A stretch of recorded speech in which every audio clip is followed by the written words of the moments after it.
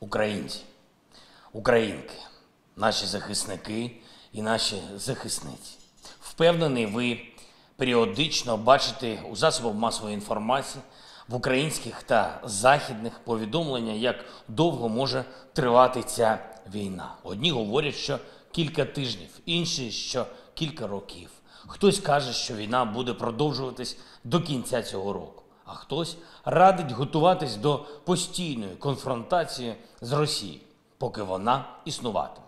Звісно, я також чую різні прогнози, маю набагато більше різної інформації, ніж публікують деякі ЗМІ про наміри і можливості російської армії, про потенціал російської економіки, про емоційний стан суспільства в РФ.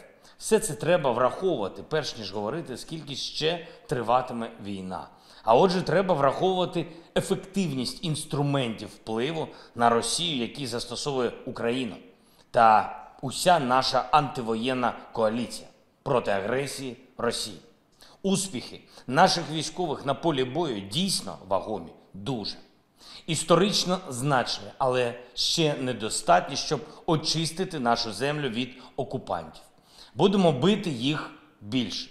Санкції проти Росії дуже серйозні, економічно болісні, але ще недостатні, щоб російська воєнна машина залишилась без засобів для існування. Просуваємо сильніші, більш руйнівні. Тож насправді саме на цих двох напрямках і визначається, скільки триватиме ця війна. Я завжди кажу всім нашим партнерам, з якими обговорюю це питання, що від обсягу підтримки для України напряму залежить і настання миру. Залежить буквально те, скількох ще українців і Україна встигнуть убити окупанти. Якщо хтось каже рік чи роки, я відповідаю, у ваших силах зробити війну значно коротше. Чим більше і чим швидше ми отримаємо всю зброю, яку запросили, тим сильніші будуть наші позиції, тим скоріше буде мир. Чим більше і чим швидше ми отримаємо фінансову підтримку, яку запросили, тим скоріше буде мир. Чим швидше демократичний світ визнає, що нафтове ембарго проти Росії та повне блокування її банківського сектору це обов'язкові кроки до миру, тим скоріше закінчиться війна. Тож завдання номер один прискорення миру. Наші збройні сили виконують його блискуче. Вони зупиняють атаки окупантів, вони реалізують контрнаступи. Вони вже так закошмарили в правильному сенсі цього слова російську звичайну авіацію, що ті змушені застосовувати стратегічні далекобійні літаки. Я вдячний кожному нашому захиснику і кожній нашій захисниці за цю величезну роботу.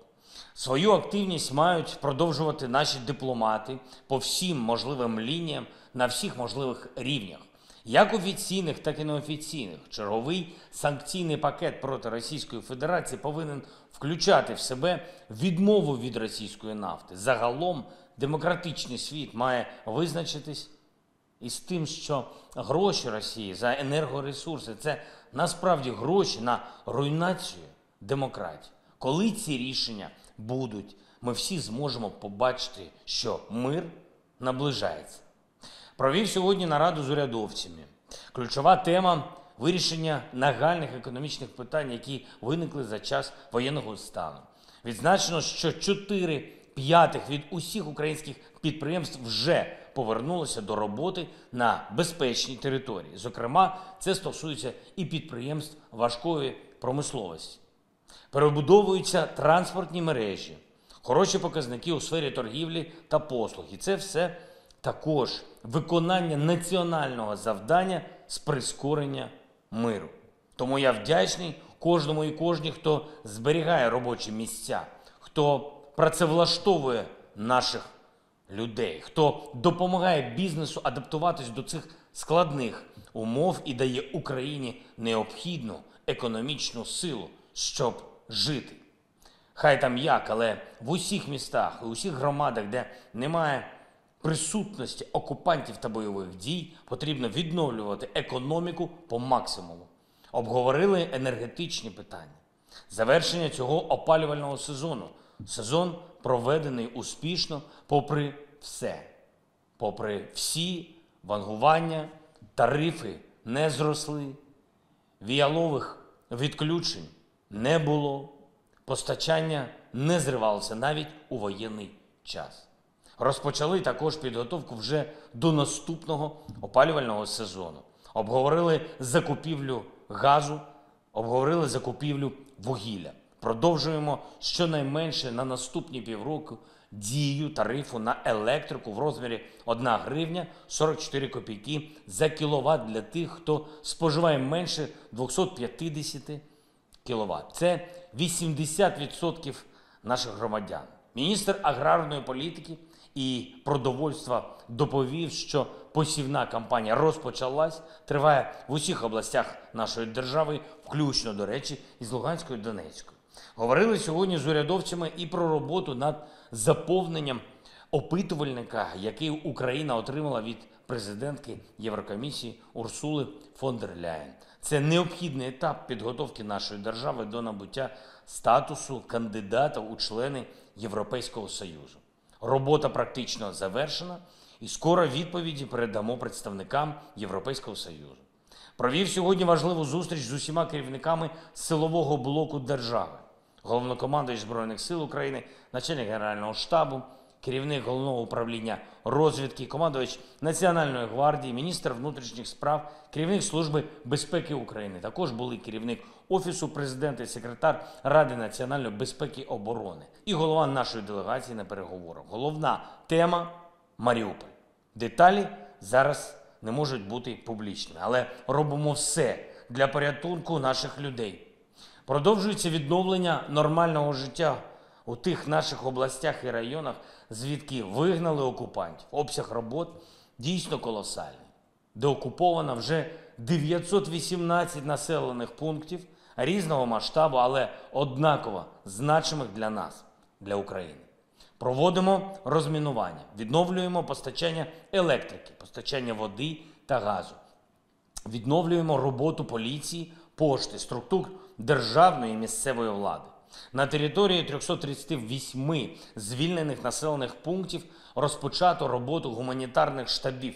Поновлюємо надання регулярної і екстреної медичної допомоги, роботу освітніх структур там, де це дійсно можливо. Бо загалом на цей день російські війська зруйнували або пошкодили вже 1018 освітніх закладів по всій нашій країні. Почали відновлення доріг та залізничного сполучення. Зокрема, від завтра відновлюється залізничне сполучення з Черніговом та Ніжином.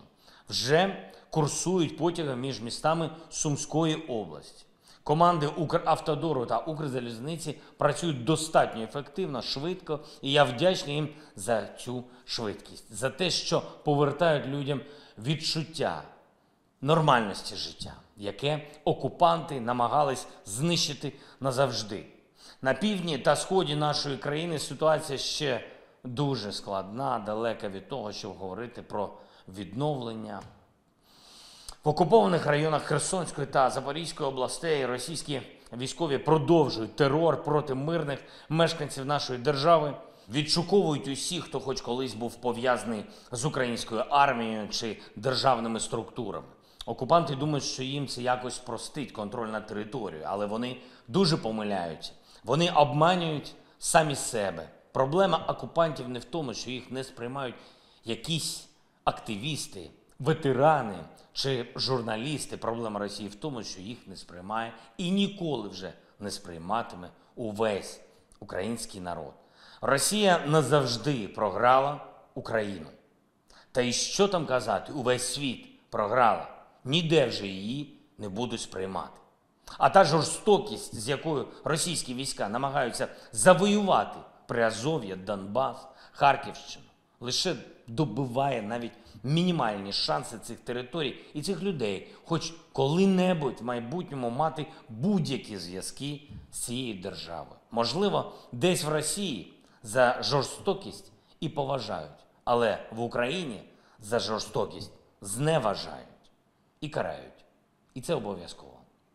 Підписав сьогодні укази про нагородження наших військових, 237 військовослужбовців Збройних сил України, відзначені державними нагородами. З них 34 посмертно. Звання Герой України присвоєно полковнику Кащенку Дмитру Валерійовичу, командиру 58-ї окремої мотопіхотної бригади оперативного командування Північ сухопутних військ Збройних сил України за особистий приклад героїзму, яким надихає співслужбовців за надзвичайно ефективні бойові дії та конкретні і дуже важливі результати для збереження позицій нашої армії і вигнання окупантів.